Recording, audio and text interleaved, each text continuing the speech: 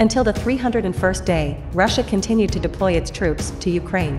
In the latest attack, Russian troops reported destroying Ukrainian tanks using Ka-52 Alligator attack helicopters. Video footage of the seconds a Ukrainian tank exploded by Russian troops was released on Wednesday, December 21, 2022.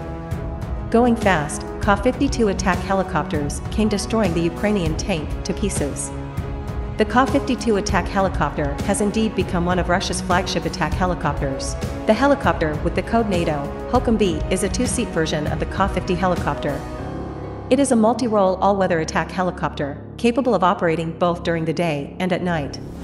Development of this helicopter began in 1994, and the type was first flown in 1997. The Ka-52 attack helicopter has been ordered for Russian service, and its small-scale serial production began in 2008. The Ka-52 attack helicopter engine is equipped with an upgraded TV3-117 VMA turboshaft engine. The Hokum-B has unique maneuverability, which comes from its two coaxial counter-rotation main rotors.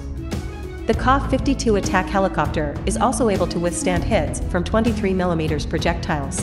This helicopter also has a pilot ejection seat. Not only that, this helicopter is also capable of flying with one engine disabled, the Ka-52 attack helicopter retains all the combat capabilities of its predecessor, armed with a side-mounted 30mm cannon.